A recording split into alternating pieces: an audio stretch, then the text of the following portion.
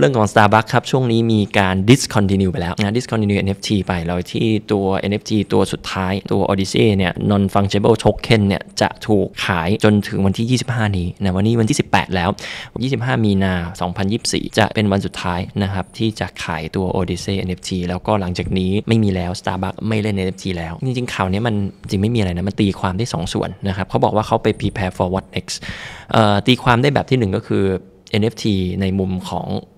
สตาร์บัคที่ทำมาตลอดทั้งปีเนี่ยไม่ work ในความคิดผม ผมก็เห็นว่ามันไม่ค่อย work มันยังเป็น NFT ท่าที่มันไม่ค่อยถูกทางสักเท่าไหร่ เพราะว่าทำแล้วมันก็ดูเหมือนจะตันๆ แล้วก็ต้องการจะเปิดโลกที่เป็น Web3นะหรือว่าอื่นๆต่อไปแต่ว่าเปิดแล้วมันยังไม่เปิดไม่สุดหรืออย่างไร ก็เลยตัดสินใจปิดไปนะแล้วก็จะ prepare what next ไอ้ what next เนี่ยก็ไม่ได้บอกด้วยว่าอะไรจะ next แล้วคุณปิด NFT ไปแล้วคุณจะไปทิศทางไหนก็ยังไม่ได้บอกชัดเจนนะแต่ว่าเอาเป็นว่าเป็นเจ้าแรกๆแล้วกันนะ Starbucks ที่พยายามจะเอา NFT เนี่ยมาเล่นใน real use case นะครับ ก็ถือว่ามี adoption พอสมควร และการสร้าง impact ให้ตลาดพอสมควร แล้วก็สุดท้ายก็ปิดแล้ว ระหว่างนี้ผมเข้าใจว่าราคาอาจจะมีการเด้ง เพราะว่าการปิดมันก็คือการบอกว่ามันจะไม่มีอีกแล้วนะคนก็อาจจะไปตุนเก็บอะไรกันนะ แต่ว่าก็เป็นเรื่องธรรมดา แต่หลังจากนี้เนี่ย adoption ที่จะเกิดจากตัว Starbucks เอง อันนี้ต่างหากและทิศทางของบริษัทที่จะ drive Web3 จะอยู่ไหมถ้าไม่เอา NFT คุณจะเอาอะไรต่อ นะอันนี้ก็ต้องดูกันต่อไป ในอนาคตฝั่ง NFT ผมยังมองว่ายังไม่มีอะไรชัดเจนเท่าไหร่มันยังลุ่มๆดอนๆนะครับเพราะว่า NFT เนี่ยมันมีหนึ่งเดียวก็จริงนะแต่มัน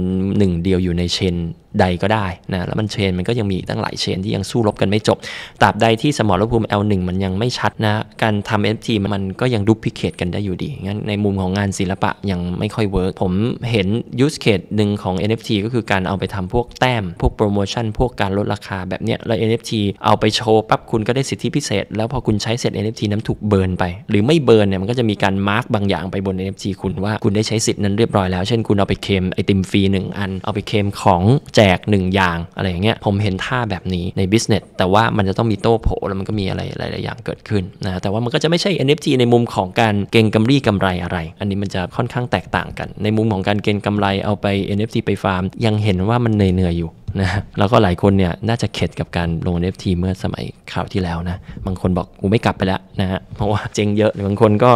อยากจะกลับไปลองใหม่ก็ลองดูแล้วกันนะครับ